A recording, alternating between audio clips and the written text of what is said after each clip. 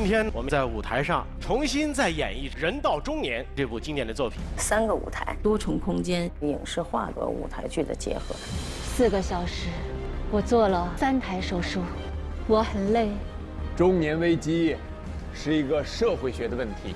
我们有精力，有智慧，也有使命。相信我们这一代人的光明已经到来。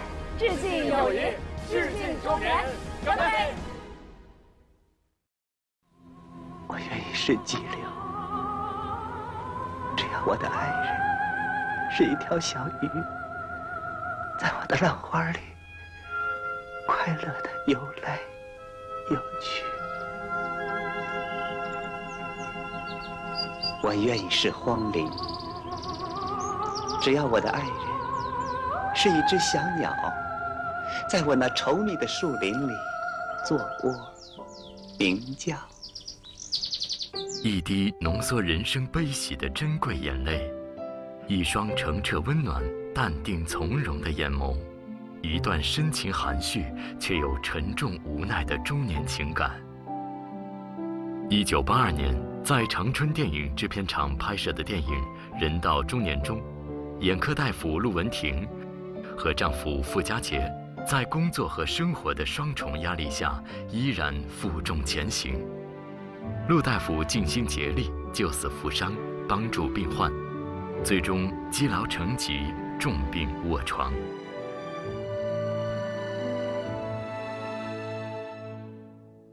没听说陆大夫有心脏病啊？怎么一下子病成这样呢？冰冻三尺啊！这是一个曾经感动中国的电影故事。让我进去看一眼吧。陆大夫为啥病倒？就为给我开刀啊！也是一部融入中国人记忆的影片。唉，中年，中年。现在从上到下，谁不说中年是我们国家的骨干，是各条战线的支柱？人到中年，万事马。今天就让我们一同回到上世纪八十年代，一同感受那一代中年人的奉献。与坚守，来为中年干杯！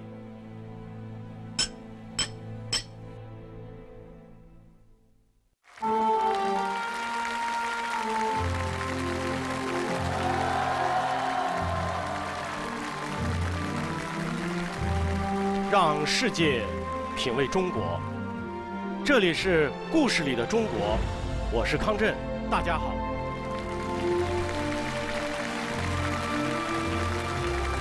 一九七八年的三月，全国科学大会胜利召开。大会指出，四个现代化的关键是科学技术现代化。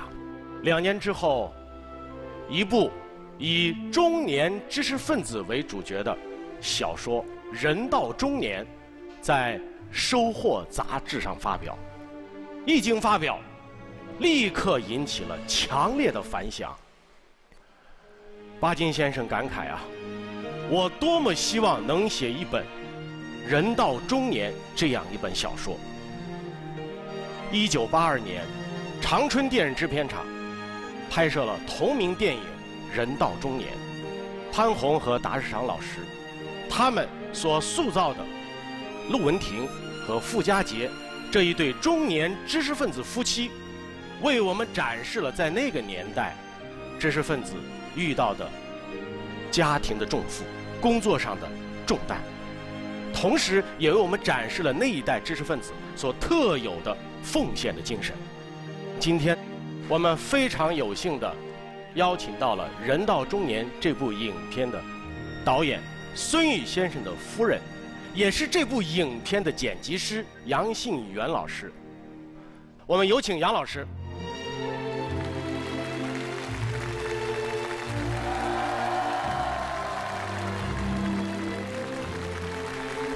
杨老师，你好，你好。杨老师，您坐。杨老师，我知道啊，这个片子当时获得了很高的荣誉，第三届金鸡奖最佳故事片奖，第六届百花奖的最佳故事片奖，还获得了当时优秀影片奖，也是后来的华表奖。当时大概有一点五亿人看了这部影片。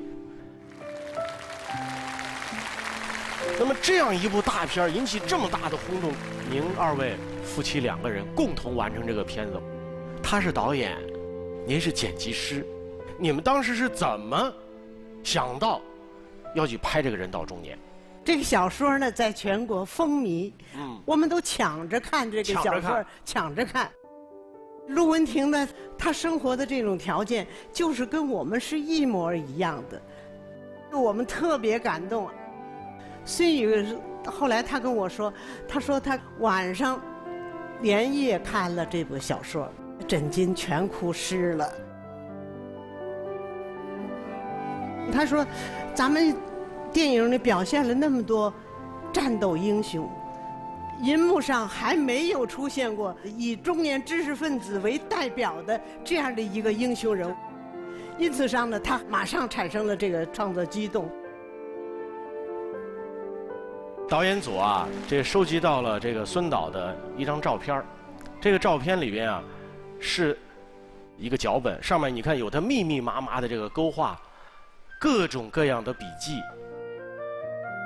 当时我们那个年代吧，胶片很很贵重，很贵重，都是分好镜头再拍。他就是先按照他的剧本的要求，他想好了，他分他都分出来，分出来以后，因为他演员出身呐，他把这个所有的这个片子用秒表一个镜头一个镜头演一遍，然后卡出尺数，写到这个分镜头本上。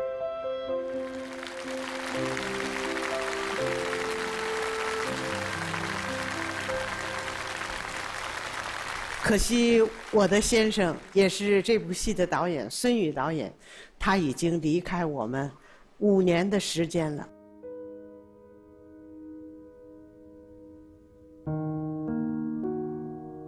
我非常怀念他，他是我的丈夫，也是我的良师益友。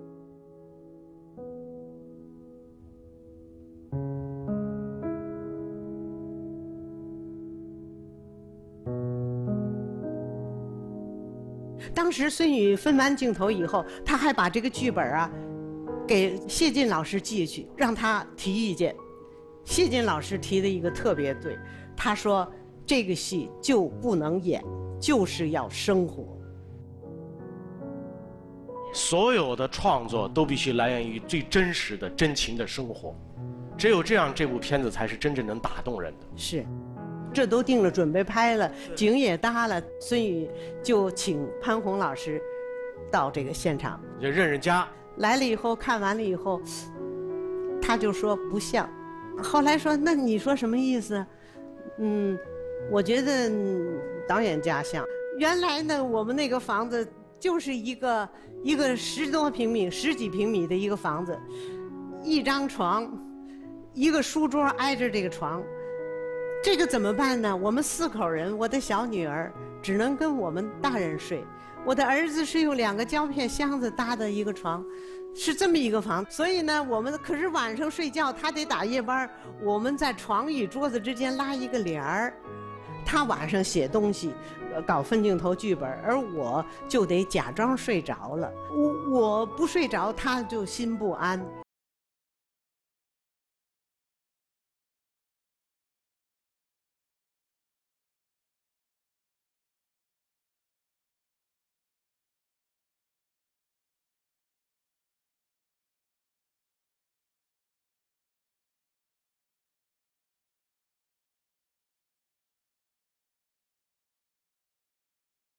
管我，我已经进入半睡眠状态了。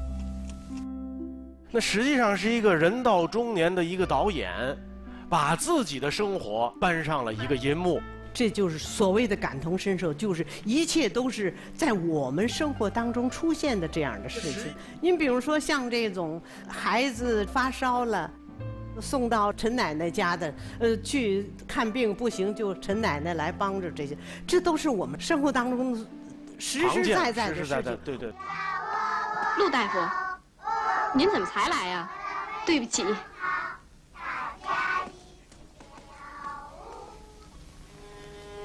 妈，我要回家。好好孩子，妈妈抱你回家。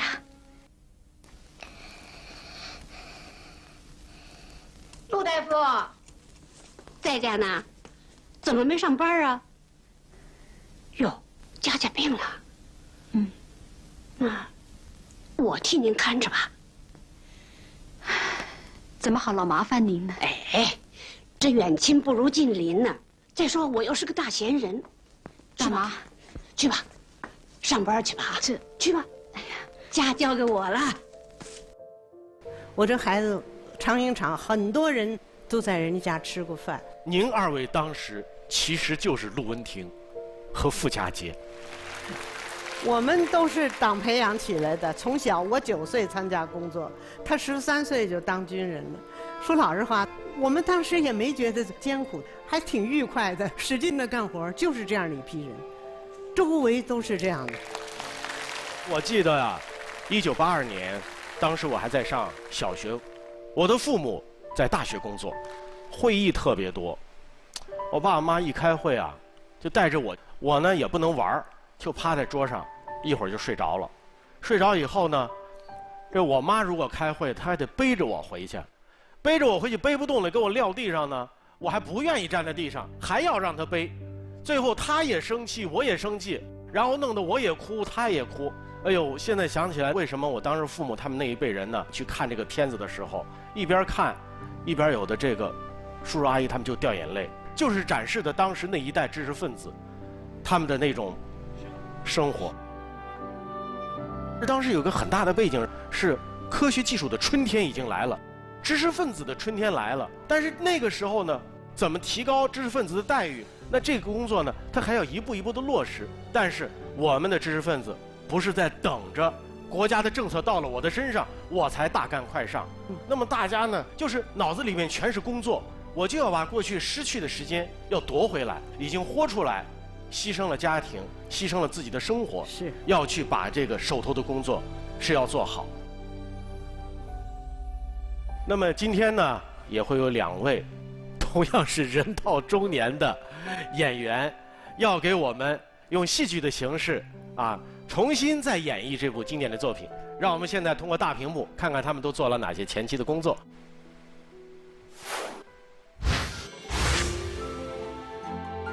欢迎大家来到故事里的中国的维度会，我是咱们节目的戏剧总导演田庆新。大家好，我是左小青，我演绎的是陆文婷。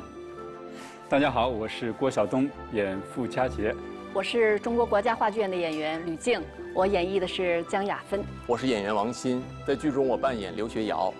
我是故事里中国的总编剧张坤鹏，谢谢大家。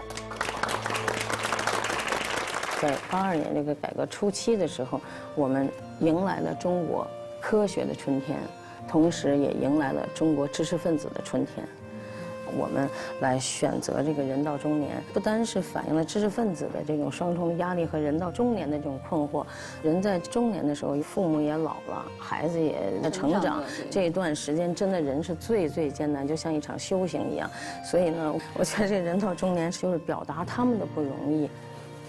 咱们重新演绎这部经典的作品，还是很值得期待的。嗯，我们看一下这个场景。我们是由三个舞台构成哈，一号台是我们主舞台，手术间包括外景都会在主舞台上展现。二号台和三号台，大家可以有影视化的表演。咱们就先读剧本吧。哈。人到中年第一场，话外。音乐响起，音响中夹杂心跳的声音。心跳八十五，血压高压一百五，低压一百，低压稍高一点，不妨做手术。大夫，陆大夫，别喊，马上给您手术。大夫，我这双瞎眼还能治好啊？大爷，你可不能再说话了。持针器，缝针，手术刀，球后针头。准备手术，小青，我觉得啊，持针器，你看一下，持针器缝针，哎，漂亮，眼睛，对，这个呢也都挺利索的，这样它就有戏。纹是止血钳，对，但是那个语言可以利索点，我自己有点细节，起起伏伏哈，有点细节。八点半，十二点半，我做了三台手术，剪开、缝合，再剪开、再缝合，持针器很重，很重。太棒了！有人把陆文婷比作是天上的一颗星星，静悄悄地放着光芒。我觉得这个比喻特别好。呃，就是有了像他们这样成千上万颗星星，才能组成我们祖国灿烂的夜空。这个形象演出来还是会打动观众的。我觉得他有一种对于他职业的一种坚守。因为我觉得我现在处的这个阶段正好跟陆文婷很像，因为我也是一直这样走过来的，因为我也会面对这样的一个问题，就是工作和呃生活的压力是比较大的。因为为了自己的工作，然后让丈夫全权的来照顾家庭，但是我觉得对丈夫有一份愧疚。我孩子现在都九岁了，其实我陪伴他很少。人到中年这样的一个情况下，给了我们更多的人一种提醒，给了中年生活一种动力，可能是某一种坚持，包括爱情，很让人感动。来，往下。记得当年我给你朗诵的诗吗？裴多菲的，我愿意是急流。我愿意是急流，只要我的爱人是一条小鱼，在我的浪花中快乐地游来游去。我愿意是废墟。只要我的爱人是青春的常春藤，沿着我荒凉的额，亲密的盘旋上升。其实傅家杰就是陆文婷一个可以得到释放的一片净土。傅家杰时不时还冒出几句裴多菲的诗，能够让疲惫忙碌的陆文婷能够获得暂时的一种放松。作为中年知识分子的群体代表，我觉得他们俩的价值观是高度契合的。不管遇到什么样的困难，他们都可以携手奋进。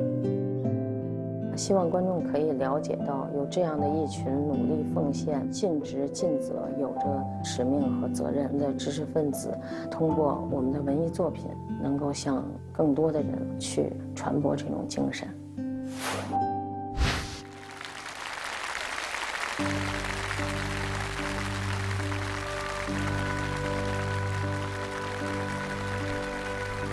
一个影片，它要有一个灵魂人物，那么这个片子里边的灵魂人物，应该就是陆文婷，包括她的丈夫傅家杰。清楚吗？二，这四，嗯，二。陆大夫，谢谢，真太感谢你了。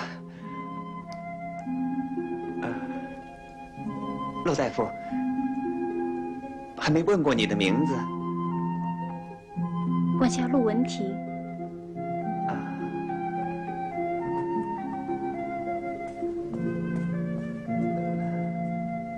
陆文婷。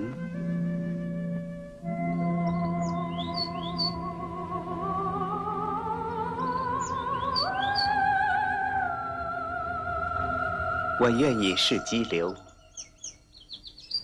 只要我的爱人。是一条小鱼，在我的浪花里快乐的游来游去。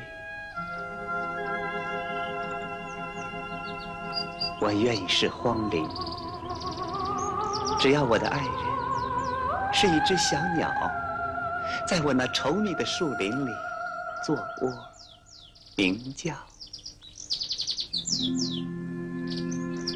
我愿意是废墟，只要我的爱人是青春的常春藤，沿着我荒凉的额，亲密的攀援上升。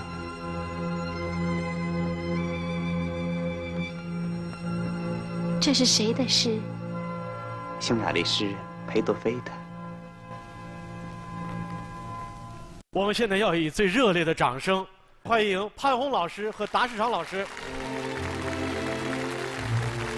你好，你好，你好，来，两位就坐，两位就坐。潘虹老师、达老师还有杨老师，你们也有好一段时间没见面了吧？应该说，当年结下的这种革命的友情，现在回忆起来还是很难忘吧。像家人，我从来是把导演和杨老师当姐姐和哥哥，把他的孩子当我的侄女儿。那么您二位当初怎么跟这个电影发生的姻缘？我呢是先看过这个小说，那是八零年第一版，三毛三分钱一本。这本书呢，你看着它很小，很平凡，但是当你拿上手去看了它以后呢，就放不下来了。越看，你就越随着这个小说人物的命运，跟随他俩一块儿走。看到最后，你就激动不已。我首先是非常佩服这个作家慎荣啊，对，有这个胆量，能写出这样一部作品，有这样的个眼光，能把这个问题看得那么透彻，那么深刻，我还真是没想到。同时，我又觉得呢是非常的亲切，因为他写的主人公跟我几乎是同一个年龄。他的家庭也好，他的遭遇也好，他们夫妻之间的感情啊等等，跟我自己生活是非常相似。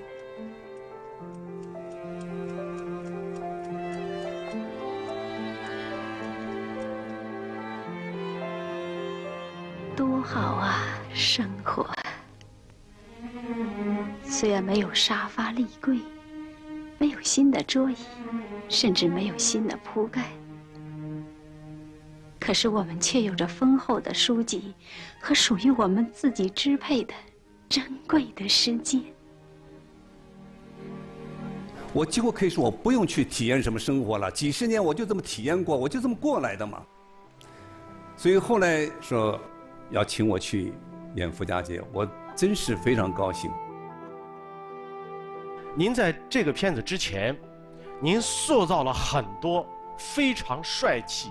非常潇洒的形象，其实这些形象与盛荣老师笔下的这个傅家杰，那其实还是有很大的差距。我前面已经演了好几个知识分子，已经被定型了，好像是。那尽管知识分子他也是人格有貌的，我给自己的课题，我必须要突破这一关。那么我就觉得，应该在外形上首先要有突破。就不是那么一天到晚很潇洒的啊，这个这个长发飘飘什么东西。家里两个孩子生活那么窘迫，工作那么重，谁有心思顾这个？剪个短头最容易了。再说吧，穿什么衣服很重要。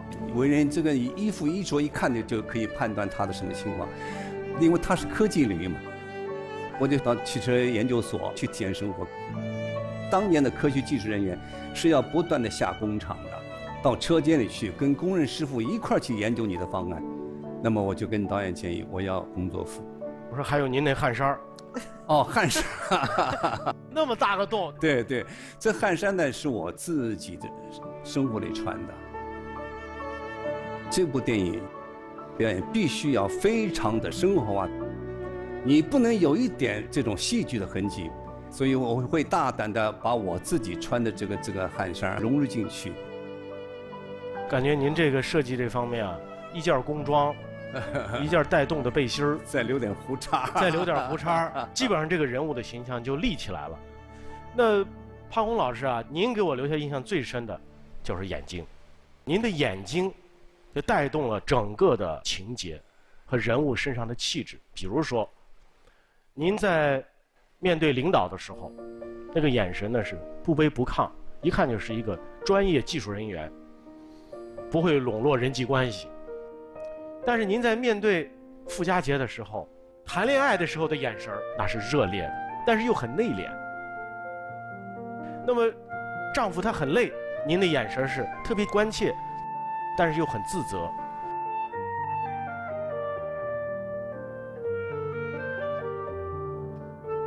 面对孩子的时候，那种母亲的眼神，佳佳更美了。是奶奶给我扎的。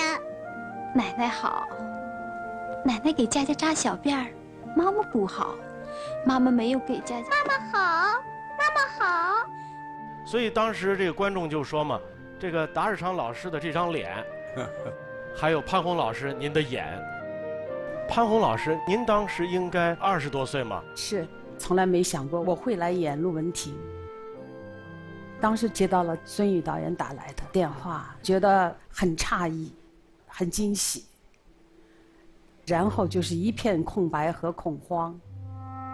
你何德何能？你来演陆文婷？哦，我觉得不是我吧。其实我们要给观众一个交代，就这个角色，它承载着所有人的故事。孙宇导演给了我一个很好的启示：不是喜剧，不是悲剧，是生活剧。所以我当时就回到了四川医学院，找到了宋广尧老师。我觉得，去体验生活，去深入生活，去再现生活，是我必须要走的这个三步。你想，一个演员连手术都不会做，你谈什么人到中年的你内心的那种疾苦和失落呢？我们走过了手术。走过了问诊，他又把我塞到急诊室去感受。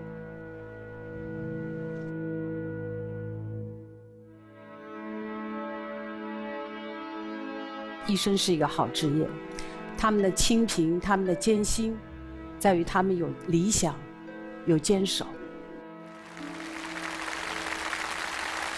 我看到您有一个标准动作，对。我们不是说好了吗？要勇敢。而且就是有一场戏是很多患者围在您身边，你一一的去看他们的这个眼睛，就是那个那个动作的娴熟，一看就是一个一瞬间从一个母亲和一个妻子就变成了一个非常职业的眼科的一个大夫。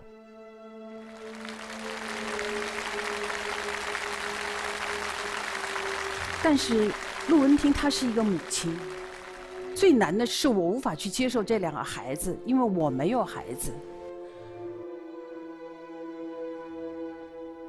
导演永远是用最最我能听得懂的话，他说：“你不要着急，高兴的时候不要嘚瑟，痛苦的时候不要悲悲切切。”陆文婷，她只哭一次。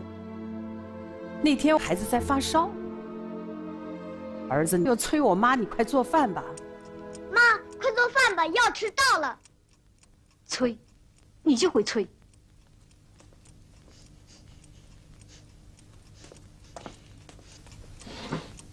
圆圆，你去买个烧饼吃吧。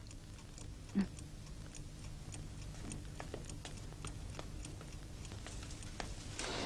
没想到孩子拿了两毛钱给妈妈买了块烧饼，端了一杯水，看妈妈在那，以为他睡着了。像风一样的溜着小步就过来了，哪怕他妈妈能够多睡一秒钟。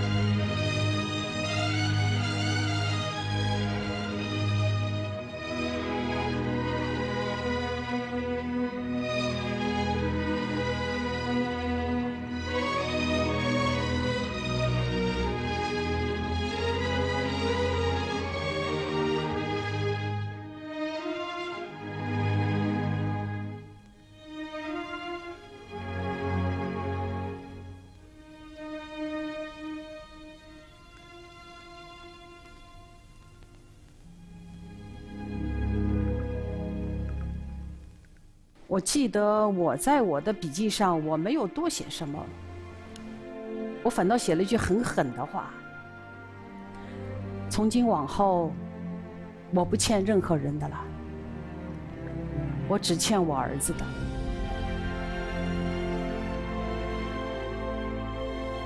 欠我丈夫的。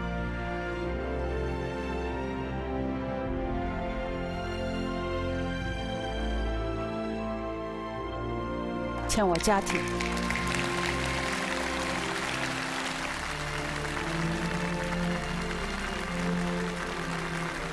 所以他更多的是自责。整场戏里边，陆文婷她只哭了这里一次。我觉得这就是这个人性格的一个核心。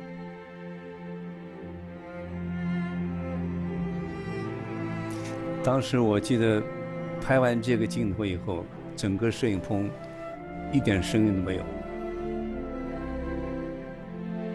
一个母亲，一个妻子，一个医生，这个泪水里边的内涵是非常丰富，包括在戏里边所出现的裴多菲的诗：“我愿意是急流。”陆文婷生病了之后，傅家杰在窗前给陆文婷再次读了这首诗。我愿意是激流，只要我的爱人是一条小鱼，在我的浪花里快乐的游来游去。我不能游了。我愿意是黄鹂，只要我的爱人是一只小鸟，在我那稠密的树林里。做窝，鸣叫，我飞，飞不动了。不，不会的，不会的。我愿意是废墟，只要你是常春藤，沿着我荒凉的河攀援。上升，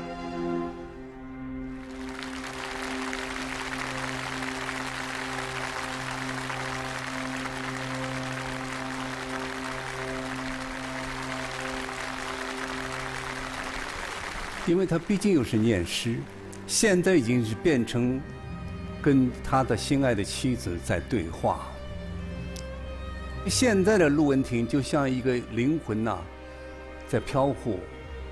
他一会儿飘远去了，什么感觉都没有了；一会儿又好像飘忽一般，似乎就有点感觉似的。但是眼睛看着你呢，这个傅家杰的心呢，真是痛得不得了啊！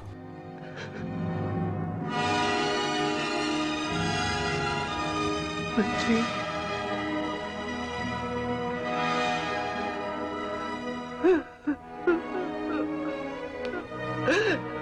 是 我没有把你掌控好啊！是我没有把你掌控好啊！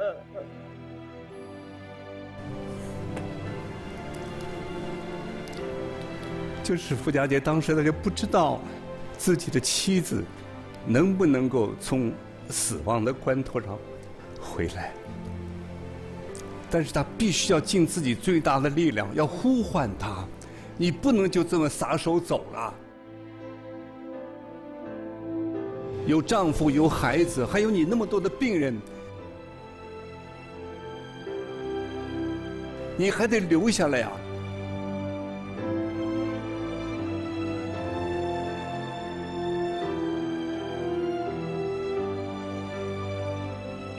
所以他就是要尽这个最后的一线希望，去来念这个诗的。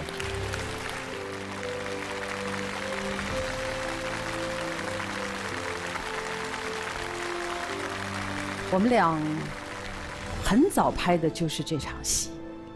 我需要对手的眼睛告诉我，生命即将离你远去，你和世界要做最后的告别。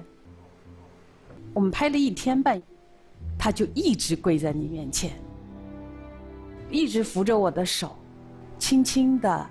他说的话只有我能听到一点点，就那个诗。他不是念出来的，他是用气息带出来的。他希望我能唤醒对生命的再次认识和那份坚强。在病危，甚至可能即将离开自己的妻子的面前，达老师用一种近乎轻微的喘息一样的声音在告诉他，在呼唤你生命的回归。我觉得关键是这个诗，确实是写得好。我们念了以后，很多年轻人写信问我要这首诗，有的甚至说：“我要在婚礼上跟我的新婚的妻子要念这首诗，我也是深深的被感动。我到现在为止，我都是这样觉得的。我觉得上天给了我最好的安排。尽管我那时候不是中年人，但是在社会当中生存，你会懂得什么叫苦难，什么叫物资的匮乏，什么叫我们的理想、我们的抱负还没有实现。当我真正走过中年的时候，我才深刻的体会到了中年人的责任和意义。那就是你看到了生活的不易之后，依然昂首向前。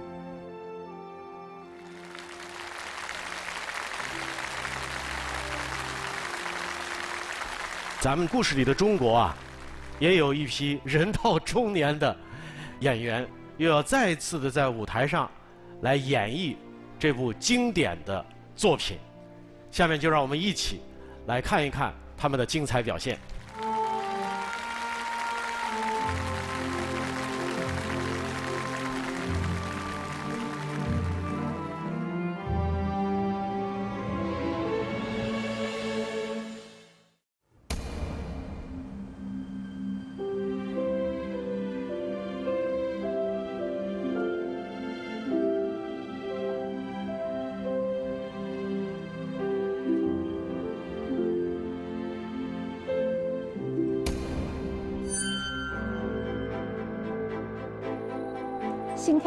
心跳八十五，血压高压一百五，低压一百，低压有点偏高，但不妨碍做手术。陆医生，都准备好了。持针器，缝针，手术刀，球后针头，开始手术。陆医生，我有点紧张。教副部长，您别紧张，手术马上就做好了。您睁开眼睛，我们先打麻药。好。利多卡因，手术刀，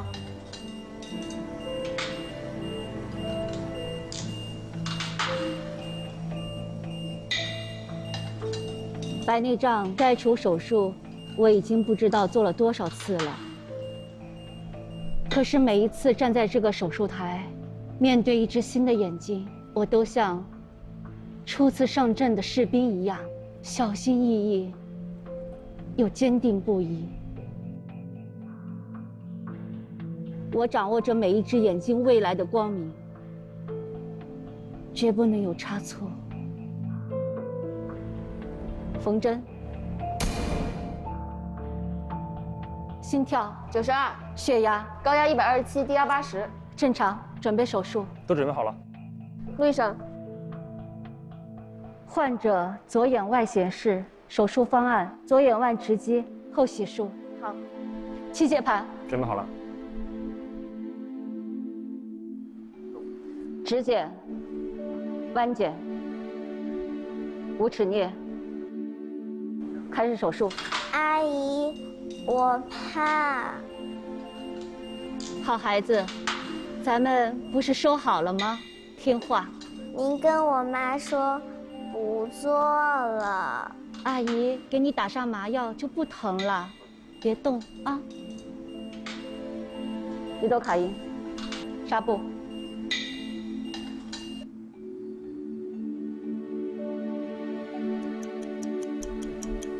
指检。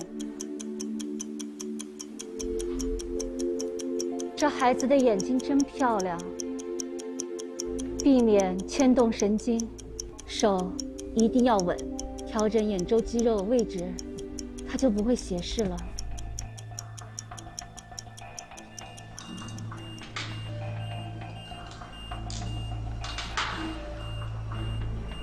我怎么出了这么多汗？有点头晕。第二台手术。不能疲倦。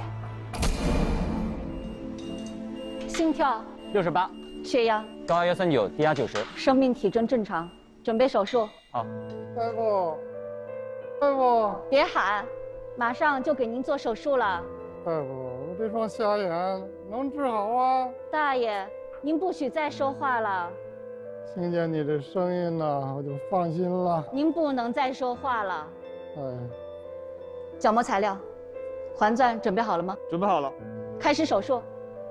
无齿镊，持针器。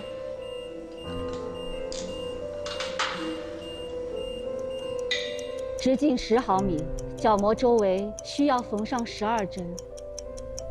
我得凝聚所有的力量在指尖上。八点半，十二点半，四个小时。我做了三台手术，剪开，缝合，再剪开，再缝合。持针器很重，镊子也很重。很重，陆医生，你的缝合技术就是漂亮。我很累。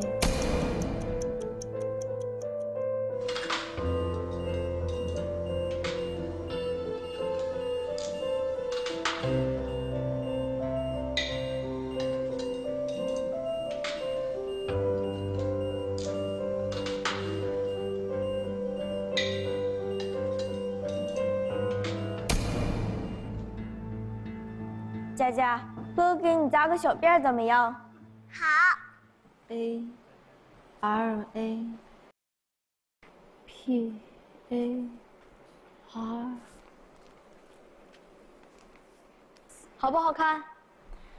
嗯，好看。哥哥，我有点冷。那你钻到我的被窝里，暖和暖和。嗯。妈妈，妈妈。叫你呢，圆圆，怎么了？妹妹都睡着了，赶紧睡，明天还上学呢。赶紧睡觉啊！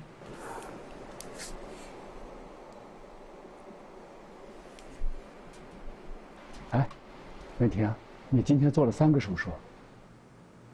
是啊。别看了，抓紧时间睡觉吧。我得把这篇文献看完。就这一篇啊，不许熬夜。我知道。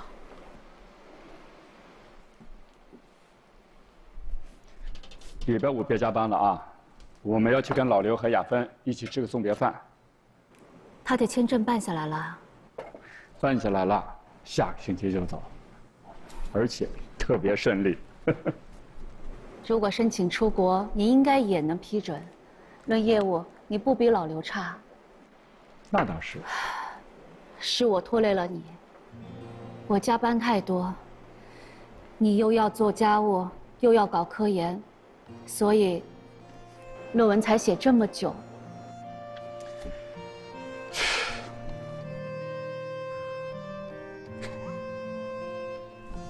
你什么时候跟我客气上了啊？我的陆医生。你不是也一样吗？啊，又要写论文，又要照顾孩子，你也很辛苦。妈妈，赶紧睡觉。怎么了？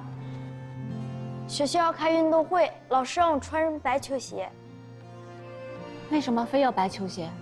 老师说要统一整齐。好，妈妈明天下班就给你买啊。你明天没有手术啊？有，那这事你别管了，我去啊，我去买。我，你看看，眨眼的功夫睡着了。明天爸爸给你买啊，盖好了呀。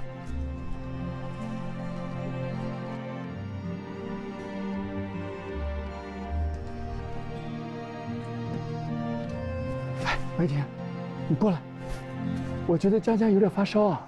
啊。你是怎么发烫啊？哎呀，怎么这么烫啊？我去拿药。佳佳，不行，烫的厉害，赶紧上医院。佳佳，乖孩子，来，过来。披上点。厚一点的，这行吗？外面冷，我跟佳佳去，你呀在家照顾圆圆。我跟你一起去。哎，你别去，你照顾圆圆。妈妈，圆圆，乖乖的在家啊，我们马上就回来了。我饿。我到外面等你啊，圆圆乖啊，自己乖乖的啊。哎，我在外面等你啊。圆圆，把这饼干吃了，赶紧睡觉啊，我们马上就回来了，快睡觉啊，乖。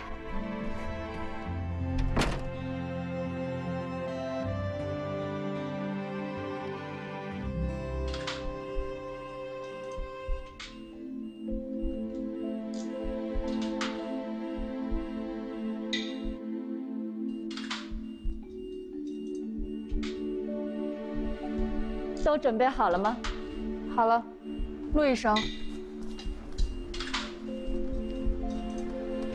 病人血压有点高，低压一百，低压稍偏高一点，但不妨碍做手术。好的，我们现在开始准备。嗯。心跳九十八，血压高压一百二十七，低压八十，生命体征正常。准备好了。指检。弯姐，无齿念，准备手术。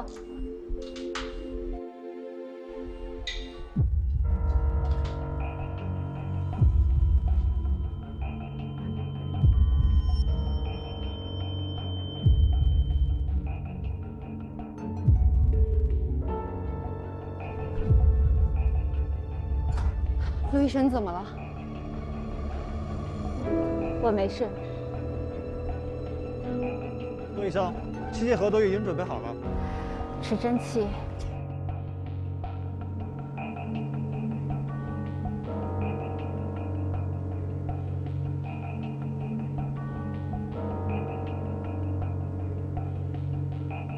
手术刀。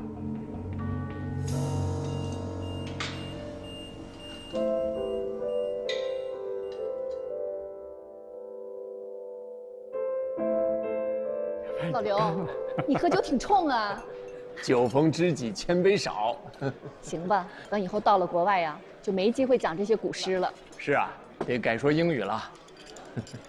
毕竟不是母语，这个东西啊，得多练。我们俩现在常讲，每天都在练，但还是觉得有压力。有什么压力啊？语言这个东西主要是环境，待两年就好了。嗯，来来，为你们高兴，干杯！干杯！干杯！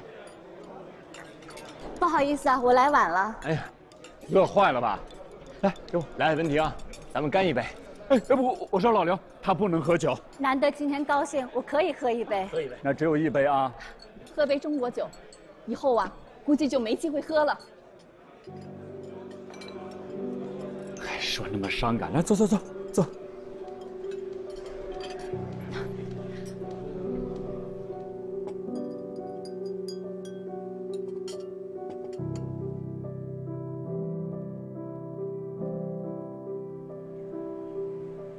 能不走吗？文婷，他们想出去看看，去大洋彼岸，我也没料到。活了大半辈子，我不想把我的骨灰留在异国他乡。那你还去？我在咱们医院也评不上什么高级职称，也没个出路。我想出国看看。我工作十八年。不是也没评上个主治医生吗？你工作那么积极，早晚能评上。不管能不能评上，为了那些看不见的病人，我得坚持下去。我父亲出过几次国，他说那里的科研条件、实验室、图书馆，都比咱们国内好。谁愿意背井离乡啊？我就是不想失去这个机会。我不像文婷，无私。任劳任怨，虽然身居陋室，却还是医院的顶梁柱。其实我挺自私的，我是一个不称职的妻子，不称职的妈妈。哎呀，行了，天天加班，忙得团团转，连孩子病了，我都没有发现。佳杰每天还要忙家务，所以没及时写完他的论文。哎呀，行了行了，别说了。啊，对了，圆圆的白球鞋你买了吗？呀，我给忘了。还是我买吧。人到中年，万事休。咱们呢是人到中年，万事忙。亚芬说的对，中年人啊，就是国家的骨干，是各条战线的支柱，对吧？你就说医院，医院做手术用的就是中年大夫，为什么？因为他们的技术经验开始成熟了，包括这个重点科研项目，也是把所有的压力都压在中年技术人员身上了。有时候我在想，我是不是错了？我是不是不该走？这几天，我总在纠结这个话题。我不知道我离开能够对我的人生有什么改变。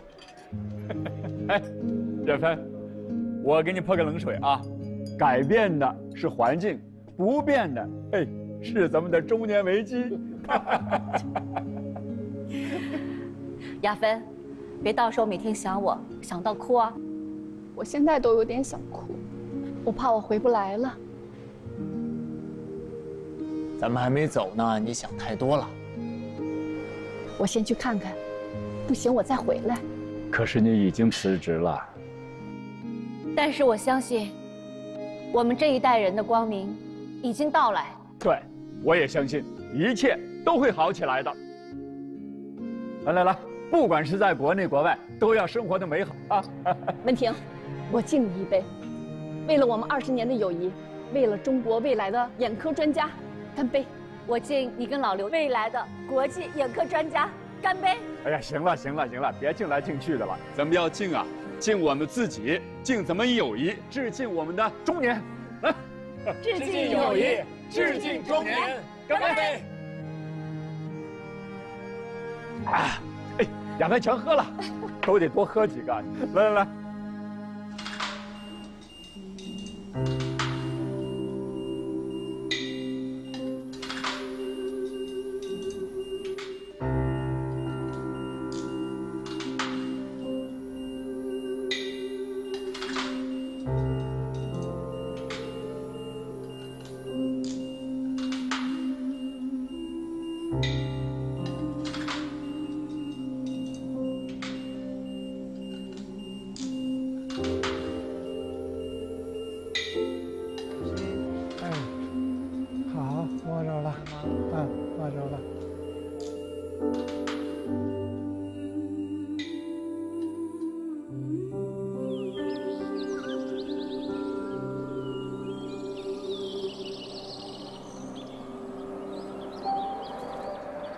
说，雅芬他们还会回来吗？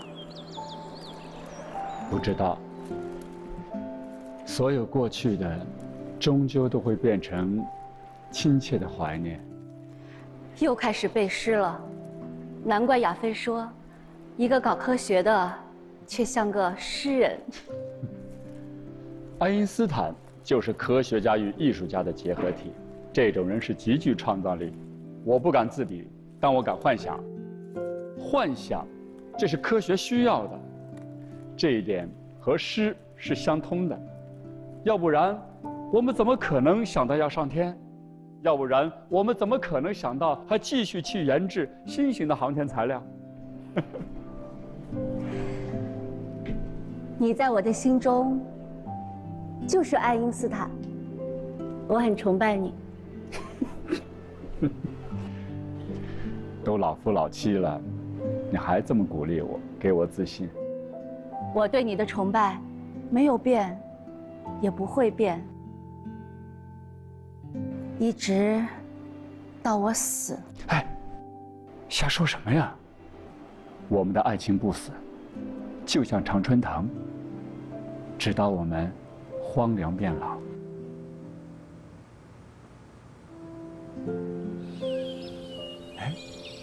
北海公园，你还记得我当初给你朗诵的诗吗？裴多菲的《我愿意是急流》。我愿意是急流，只要我的爱人是一条小鱼，在我的浪花里快乐的游来游去。我愿意是废墟。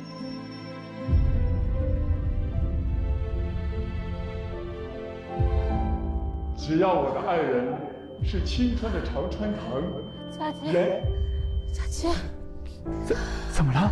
佳琪，梅婷，梅婷，梅婷，哎梅，梅，梅婷，梅，梅婷，梅婷，梅婷。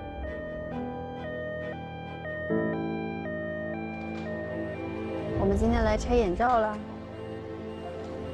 慢慢的。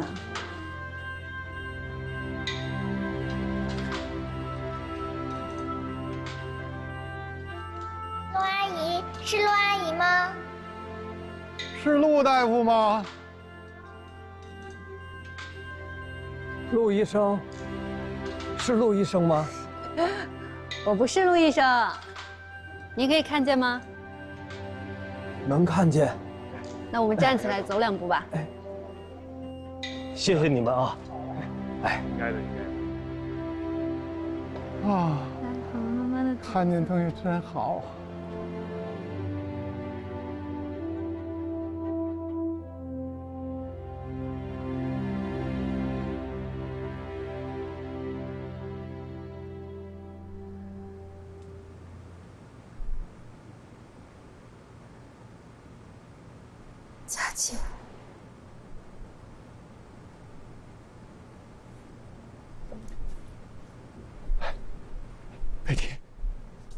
醒了，感觉怎么样？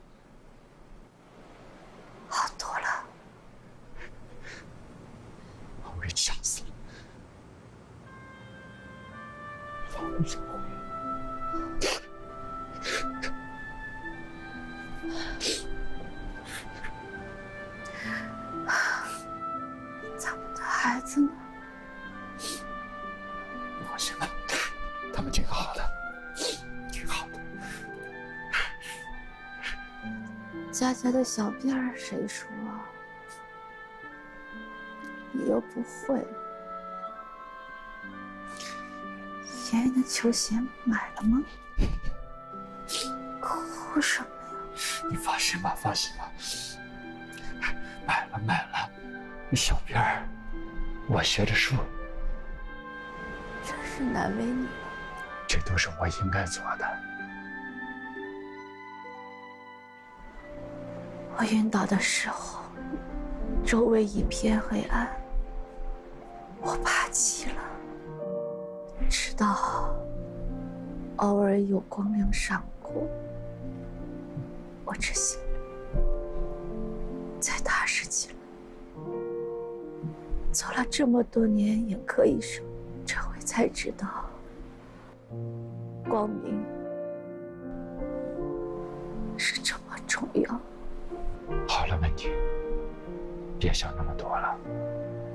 你现在需要休息。佳琪，好了，别说了，好好休息。啊，佳琪，原谅我，我没有尽到妻子的责任。我应该按时下班，让你吃一顿现成的晚饭。我应该给你创造条件，让你及时写完你的论文。佳姐，原谅我。有你做我的妻子，是我的荣幸。给人带来光明的，都是天使。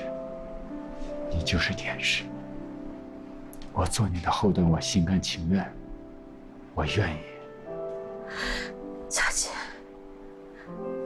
别离开我，不要离开我。不会的，我一直在。不要离开我，我一直都在，一直都在。我想听你念诗。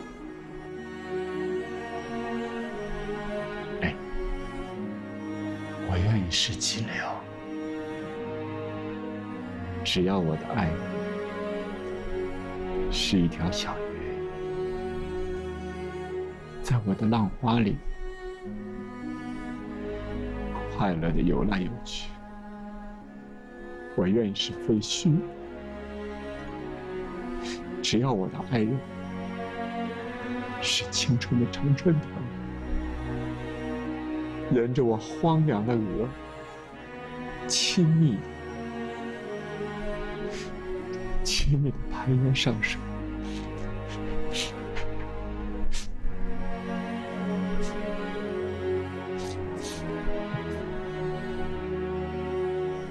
好听吗？好听。只要你想听，我随时给你朗诵，好吗？佳姐，你陪我去窗边看看太阳。好。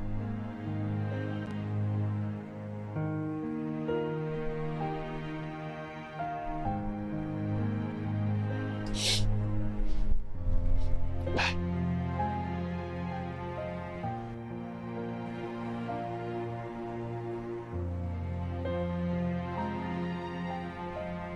只要咬牙扛过去，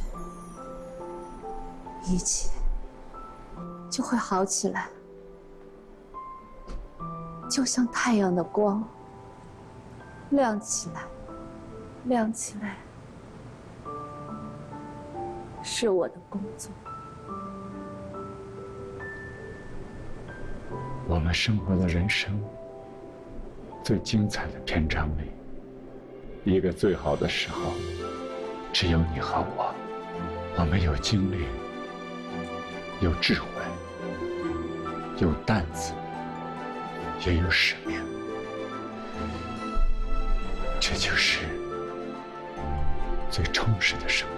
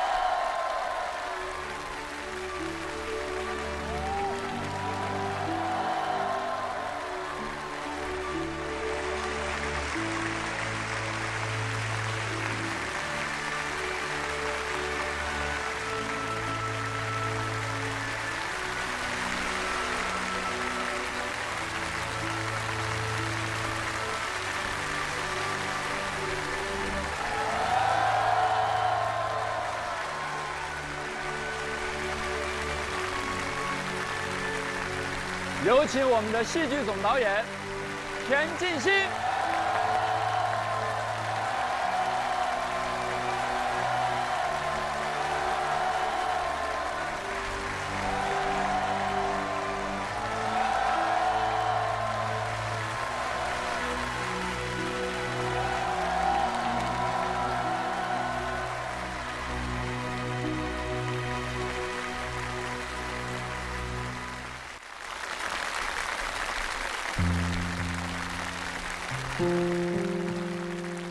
今天呢看到了这些新演员的演绎，确实非常感人，又把我们带回到了改革开放初期的那个年代。当年不同行业里的知识分子都面临着相似的处境。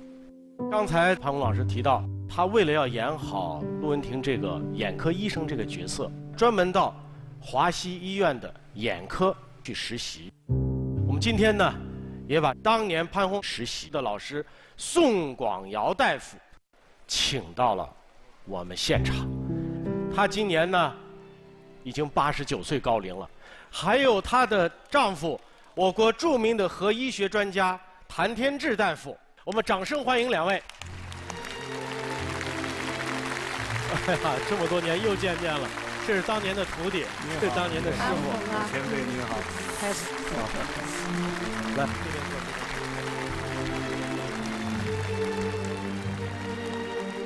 古人说“仁者寿”啊，宋大夫，呃，当初啊，潘虹老师要演好这个角色，是一种什么样的机缘？他拜了您做师傅。潘虹到我们眼科来的时候啊，我们就好像一见如故。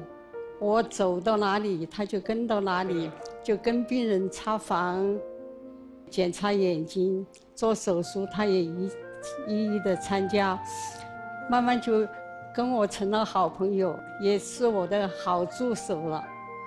我跟病人检查眼病的时候，每一个动作他都是认真学习，我说的什么他都牢牢的记记忆。宋大夫作为当时医院里的骨干力量，在工作和家庭的兼顾上，您也一定有着陆文婷式的感触。两个儿子都很小，老大才八岁，八岁，八岁，每隔两天就值一次夜班，平时白白天都照样在上班嘛。有一天晚上，我在上夜班。但是我们这个夜班上到早上，还要看十个病人才能回家。我们那个大儿子呢，就跑到门诊来找我啊，就说弟弟呀，昨天晚上在家里哭了一夜，他也不敢带他来嘛哈。我说怎么了？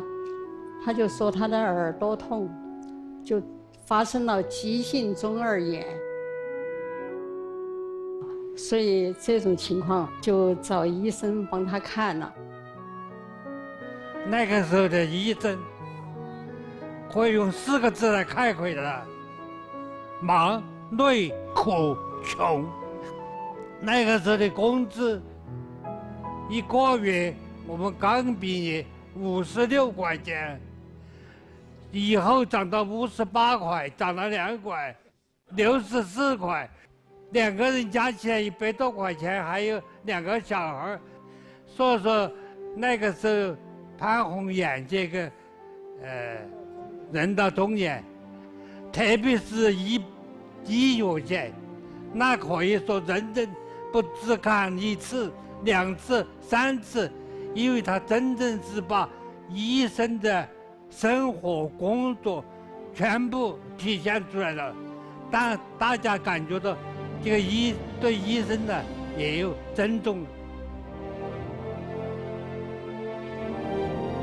宋主任他很了不起，当时他很有名啊，因为我们住在医学院里头，然后上午是三台手术，一般都是两台到三台，中午的时候呢，他要跟我两人一起到食堂里面去打一份饭，给他两个小孩儿，但是只有一次，我印象特别深。我们就刚过了那个马路，就看到一个鸡毛掸子，也像公鸡一样的一个人扛着那一起在走，他一下就把我扔扔掉了。他说：“我病人来复诊了。”我心里想：这个这个都知道是病人。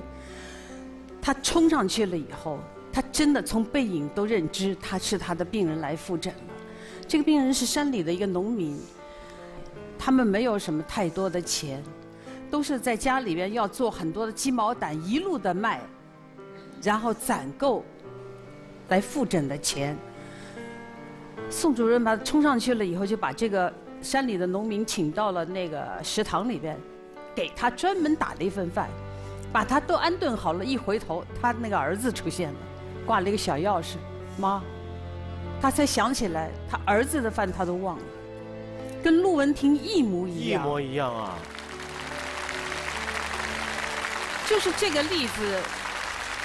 让我懂得了一点，原来医生，医生是什么？医生首先要心眼儿好，就这么简单。医者仁心。那的的确确就是像刚才潘老师说的样，您就是现实生活当中的陆文婷。在电影里边，让我非常感动的一点是，傅家杰和陆文婷在生活的拮据之外，他们的精神世界依然丰盈。他们还有裴多菲的诗。谭老师，您给宋老师朗诵过这“我愿意是急流”吗？我们那个时候啊，但是忙也没有这种行动表现出来。那今天这个机会太难得了。是，两对儿，陆文婷和傅家杰聚在一起。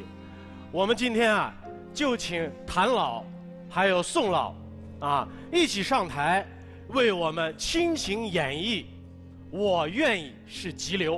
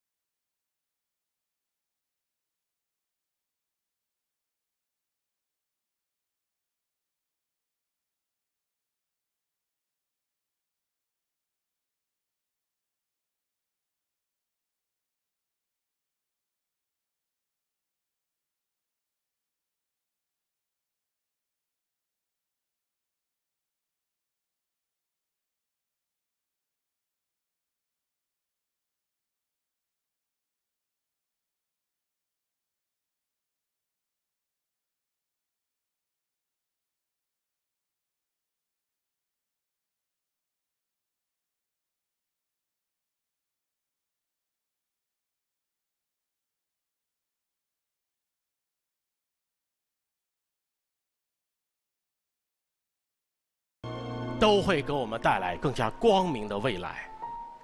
愿每一位人到中年的你我都能保有对生活的初心和热爱，乐观和坚定。未来是光明的，未来是可以期待的。谢谢大家。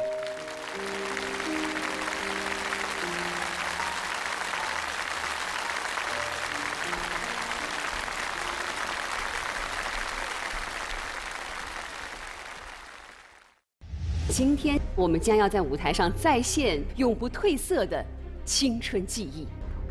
青春就是燃烧、跃动，抓住它，让青春活出精彩。青春是超越时代的，每一代人都无限缅怀自己的青春。矛盾、关爱和融洽，这就是我们的青春。祝我们青春。